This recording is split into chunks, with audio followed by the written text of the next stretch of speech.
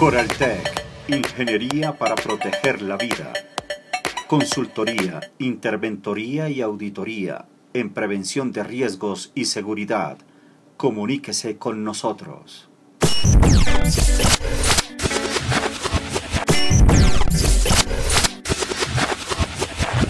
Sergio Rodrigo con la actualización de los hechos. Sergio, adelante.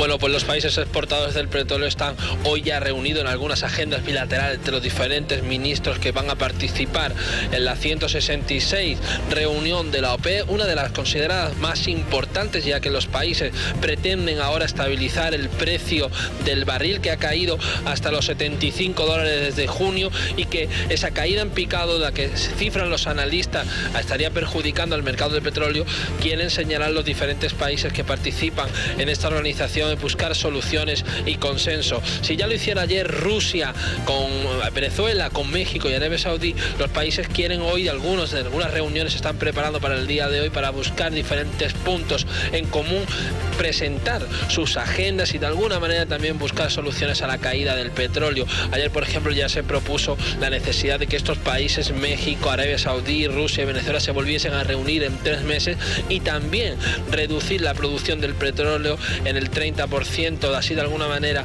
podría reducir esa caída del precio del barril para de alguna manera salvar esos precios de los 100 dólares que es lo que se pretende trabajar aquí por algunos países de la OPE. Como digo, de momento los países preparados para esa reunión tan importante considerada por la propia OPE una de las más importantes de las últimas décadas, que pretende de alguna manera solucionar la caída del petróleo en unos momentos y de alguna manera también conseguir que llegue y se estabilice el precio del barril en torno a los 100 dólares. Eso será mañana aquí en esta sede de la OPEP, donde los países miembros estarán debatiendo sobre estos precios del mercado y sobre el mercado general del petróleo.